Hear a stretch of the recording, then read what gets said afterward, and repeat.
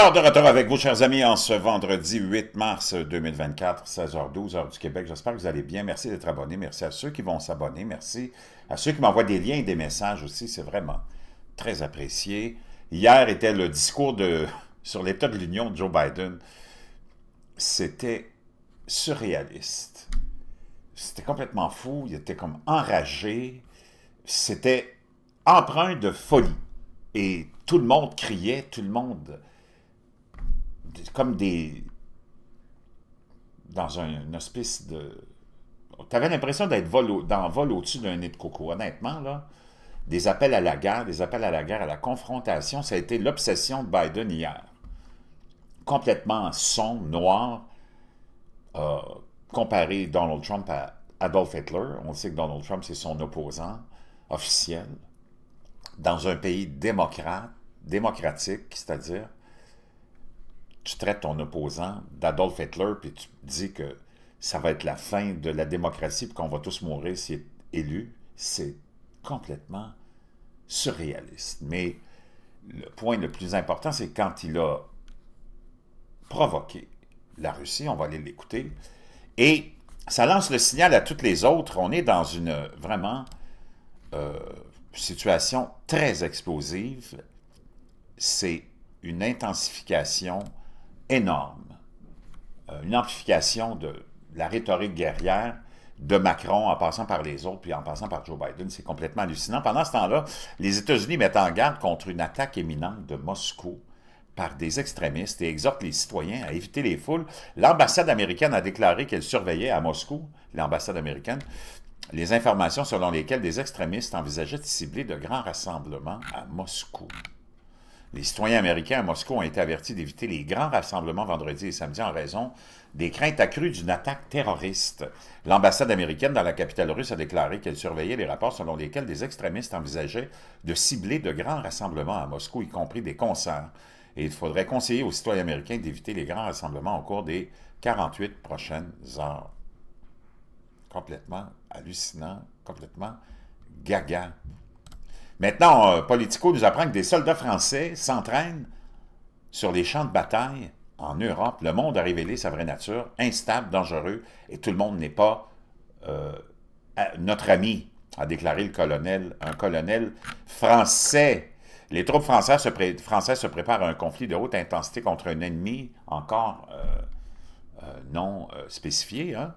Un ennemi capable de les égaler avec une puissance de feu, un grand changement pour une armée qui a passé les dernières décennies à mener des campagnes anti-insurrectionnelles dans des pays comme le Mali et l'Afghanistan.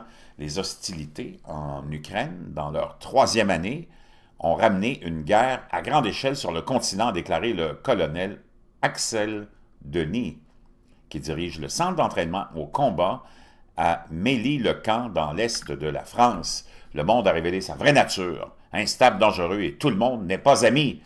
Nous nous préparons à une culture d'alerte et où nous sommes prêts à bref délai, a déclaré à Politico le général en question, ou le colonel en question. Wow! Pendant ce temps-là, Macron dit que l'Occident devra peut-être sauver l'Ukraine. Si la Russie fait une percée, ben là, je sais pas, ça fait longtemps qu'elle a été faite, la percée. Emmanuel Macron a averti que l'Occident pourrait devoir intervenir pour sauver l'Ukraine si la Russie réussissait à percer sur le front de l'Est, selon des informations publiées hier. Le président français a réalisé des cartes pour montrer aux dirigeants de l'opposition invités à l'Élysée les points de percée potentiels de la Russie vers Odessa ou Kiev.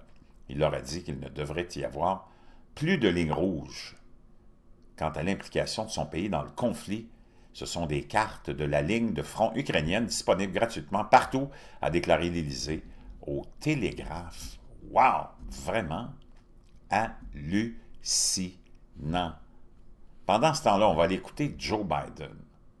Ça, c'est vraiment hallucinant et très épeurant. Ce qu'il racontait hier, des mensonges grossiers et de la rhétorique guerrière comme on n'en a pas entendu depuis, mais vraiment très longtemps. J'aimerais vous rappeler que sous les airs de Bush, il y a eu des guerres.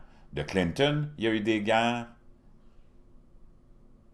De Biden, des guerres. La seule présidence où il n'y a pas eu de guerre dans les dernières décennies, c'est celle de Donald Trump.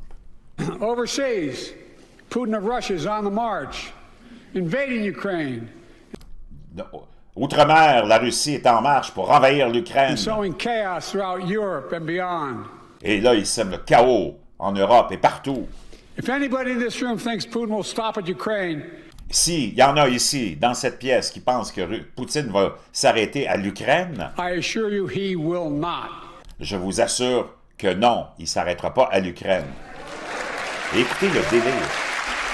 Et voyez le représentant ici, républicain, qui fait signe de la, tête, oui, il a raison. Tout le monde est dans le même bateau. Les républicains, les démocrates, tous des marionnettes contrôlées par le complexe militaro-industriel. L'Ukraine peut arrêter Poutine. Quel mensonge! fait, on est dans la troisième année, ils sont en train de se faire massacrer. Un pays de 40 millions contre 140 millions peut arrêter Poutine. Puis Poutine ne veut même pas aller plus loin que ce qu'il y a à défendre parce qu'on l'a attaqué. C'est complètement délire.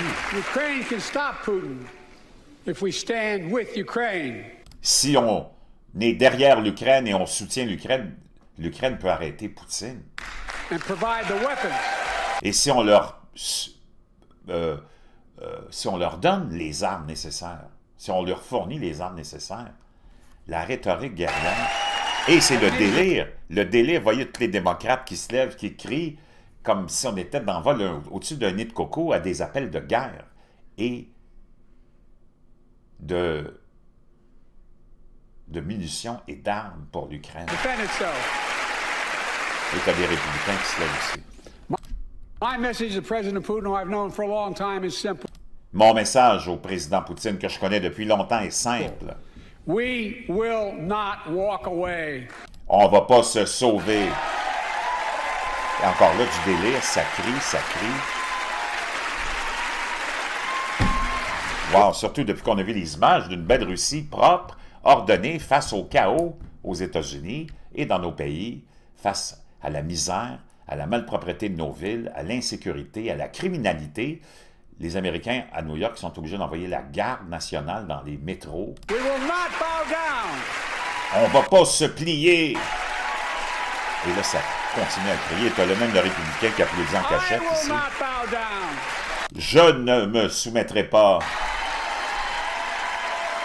Et Nancy Pelosi, la vieille sénile, complètement délirant, chers amis, je ne sais pas, là, mais wow! Ça sent la guerre, ou c'est, on est en pleine année électorale en plus. Quelle euh, mais quelle folie s'est emparée euh, des démocrates, je ne sais pas, mais ils ont été piqués par la mouche de la folie.